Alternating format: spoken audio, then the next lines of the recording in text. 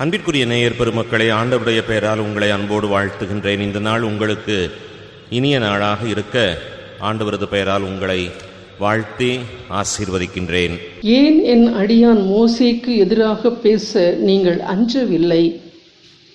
எண்ணிக்கை நூலிலிருந்து வாசகம் அதிகாரம் பனிரெண்டு இறை வார்த்தைகள் ஒன்றிலிருந்து பதிமூன்று முடிய. அந்நாட்களில் மோசே எத்தியோப்பிய பெண்ணை மணந்திருந்தார். அவர் மணந்திருந்த எத்தியோப்பிய பெண்ணை முன்னிட்டு மிரியாமும் ஆரோனும் அவருக்கு எதிராக பேசினர். அவர்கள் ஆண்டவர் உண்மையில் மோசே வழியாக மட்டுமா பேசியுள்ளார்? அவர் எங்கள் வழியாகவும் பேசவில்லையா? என்றனர். ஆண்டவர் இதனை கேட்டார். பூ உலகின் அனைத்து மாந்தரிலும் மோசே சாந்தமிகு மானிடராய் திகழ்ந்தார். உடனே ஆண்டவர் மோசே ஆரோன் மிரியாம் ஆகியோரிடம் நீங்கள் மூவரும் சந்திப்பு கூடாரத்தருகே வாருங்கள் என்றார். அவர்கள் மூவரும் வந்தனர். மேகத்தூண் ஒன்றில் ஆண்டவர் இறங்கி வந்து கூடார வாயிலருகே நின்று ஆரோனையும் மிரியாமையும் அழைத்தார். அவர்கள் இருவரும் முன் வந்தனர். அவர் கூறியது என் வார்த்தைகளை கேளுங்கள். உங்களுக்குள் இறைவாக்கினன் ஒருவன் இருந்தால் ஆண்டவராகிய நான் ஒரு காட்சியின் வழியாக அவனுக்கு என்னை வெளிப்படுத்துவேன். கனவில் அவனோடு பேசுவேன். ஆனால் என் அடியான் மோசேயோடு அப்படி அல்ல என் வீடு முழுவதிலும் அவனே நம்பிக்கைக்கு உரியவன். நான் அவனோடு பேசுவது மறைப்பொருளாக அல்ல நேர்முகமாகவும் தெளிவாகவும் இருக்கும். ஆண்டவர் உருவையும் அவன் காண்கின்றான். பின்னர் ஏன் என் அடியான் மோசேக்கு எதிராக பேச நீங்கள் அஞ்சவில்லை? மேலும் ஆண்டவரின் சினம் அவர்கள் மேல் மூண்டது அவர் அகன்று சென்றார். கூடாரத்தின் மேலிருந்து மேகம் அகன்றதும் மிரியாமை பனி போன்ற வெண்மையான தொழு நோய் பிடித்தது. ஆரோன் மிரியாம் பக்கம் திரும்பவே அவள் தொழு நோயாளியாய் இருக்க கண்டார். ஆரோன் மோசேயிடம் என் தலைவரே அறிவீனமாக நாங்கள் செய்த பாவத்தை எங்கள் மேல் சுமத்த வேண்டாம். தாயின் வயிற்றிலிருந்து செத்து பிறந்த அரைகுறை குழந்தை போன்று இவள் ஆகாதிருக்கட்டும் என்றார். மோசே ஆண்டவரிடம் முறையிட்டு கடவுளே இவளை குணமாக்க வேண்டுகிறேன் என்றார். ஆண்டவரின் அருள்வாக்கு இறைவனுக்கு நன்றி. இந்த நாளுக்குரிய பதிலுரை பாடலானது தாவிதரசரது திருப்பாடல் நமக்கு தரப்பட்டிருக்கிறது. பாடல் ஐம்பத்தி ஒன்று.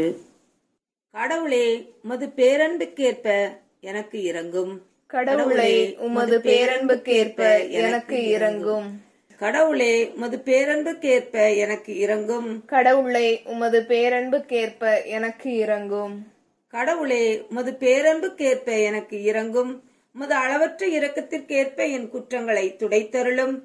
என் தீவினை முற்றிலும் நீங்கும்படி என்னை கழுவியருளும். என் பாவம் அற்றுப் போகும்படி என்னை தூய்மைப்படுத்தியருளும்.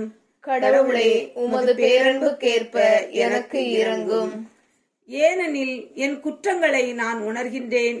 என் பாவம் எப்போதும் என் மனக்கண் முன் நிற்கின்றது. உமக்கு எதிராக நான் பாவம் செய்தேன். உம் பார்வையில் தீயது செய்தேன். எனவே உம் தீர்ப்பினால் உம் நீதியை வெளிப்படுத்தியுள்ளீர். உம் தண்டனை தீர்ப்பில் நீர் மாசற்றவராய் விளங்குகின்றீர். கடவுளே உமது பேரன்புக்கேற்ப எனக்கு இறங்கும் கடவுளே தூயதோர் உள்ளத்தை என்னுள்ளே படைத்தருளும். உறுதி தரும் ஆவியை புதுப்பிக்கும் ஆவியை என்னுள்ளே உருவாக்கியருளும். உமது முன்னிலையிலிருந்து என்னை தள்ளிவிடாதேயும். உமது தூய ஆவியை என்னிடமிருந்து எடுத்து விடாதேயும் கடவுளே உமது பேரன்புக்கேற்ப எனக்கு இறங்கும் கடவுளே உமது பேரன்புக்கேற்ப எனக்கு இறங்கும். அல்லேலூயா அல்லேலூயா. ரபி நீர் இறைமகன் நீரே இஸ்ரேல் மக்களின் அரசர். அல்லேலூயா. அல்லேலூயா. ஆண்டவரை நற்செய்தியை தகுந்த விதத்தில் எடுத்துச் சொல்ல என் உள்ளத்தையும் உதட்டையும் தூய்மையாக்கும். ஆண்டவர் உங்களோடு இருப்பாராக. உம் ஆன்மாவோடும் இருப்பாராக.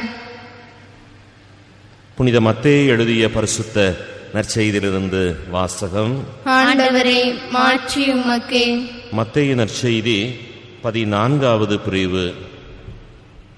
வாக்குகள் இருபத்தி இரண்டிலிருந்து முப்பத்தி ஆறு முடிய.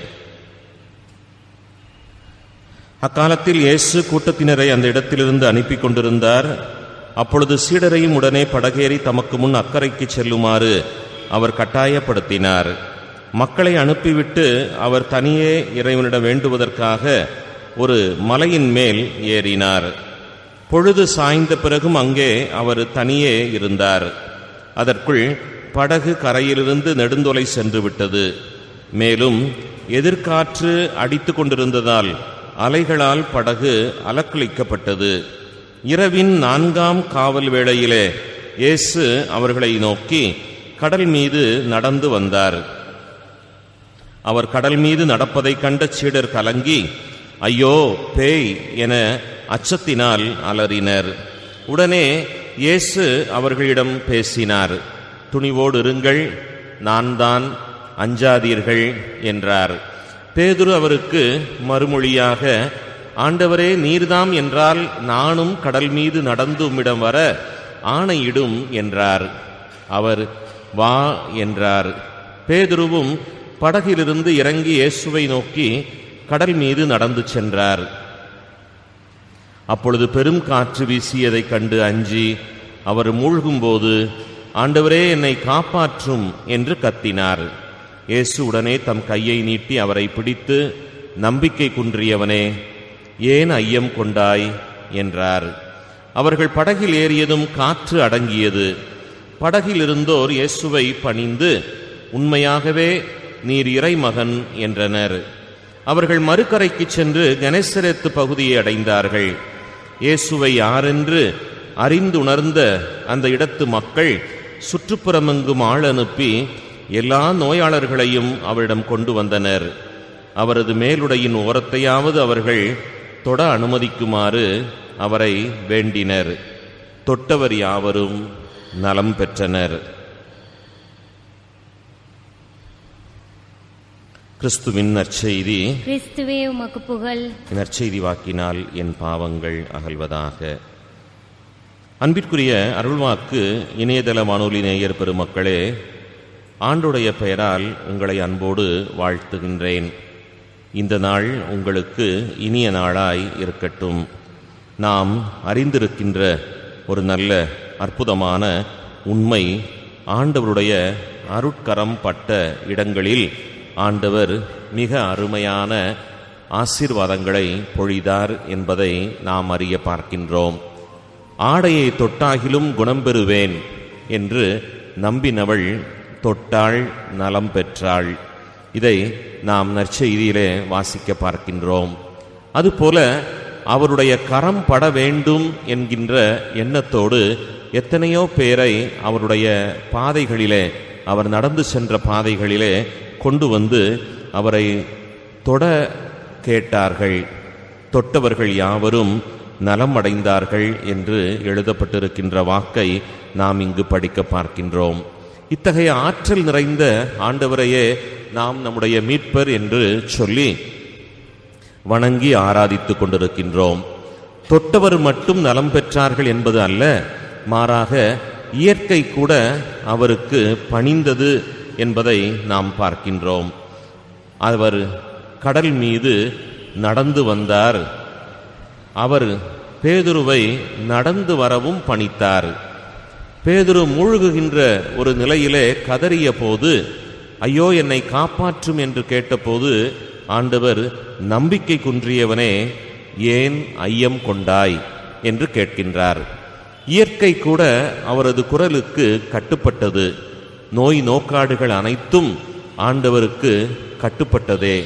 பேய்கள் கூட அலறிக்கொண்டு ஓடியது. மெஸ்ஸியாவே எங்களை துன்புறுத்த வேண்டாம். நீர் யார் என்று எங்களுக்கு தெரியும் என்று சொல்லிக்கொண்டு அலறி ஓடியதை பார்க்கின்றோம். துணிவோடு இருங்கள். நான் தான் அஞ்சாதீர்கள் என்று ஆண்டவர் உரைக்கின்றார். வாழ்விலே எத்தகைய புயல் ஏற்பட்டாலும் எத்தகைய வெறுமை ஏற்பட்டாலும் எத்தகைய சூனியமான தன்மை ஏற்பட்டாலும் அல்லது நோய் நோக்காடுகள் ஏற்பட்டாலும் அல்லது தீய ஆவியினுடைய தாக்குதல்கள் ஏற்பட்டாலும் துணிவோடு நாம் இருப்போமேயானால் அஞ்சாது நாம் இருப்போமேயானால் என் ஆண்டவர் என்னோடு இருக்க நான் எதற்கும் அஞ்ச மாட்டேன் என்று சொல்லி நாம் வாழ்வோமேயானால் வாழ்விலே நாம் நலம் பெறுவோம் என்பதுதான் இந்த நாள் நமக்கு சொல்லித் தருகின்ற நம்பிக்கையான செய்தியாய் அமைந்திருக்கின்றது. இந்த ஒரு நல்ல எண்ணத்தோடு இந்த நாளை இனிய நாளாக்குவோம். இணைந்திருந்து கேட்டு மகிழ்ந்து இறைவனை துதியுங்கள். ஆமென்.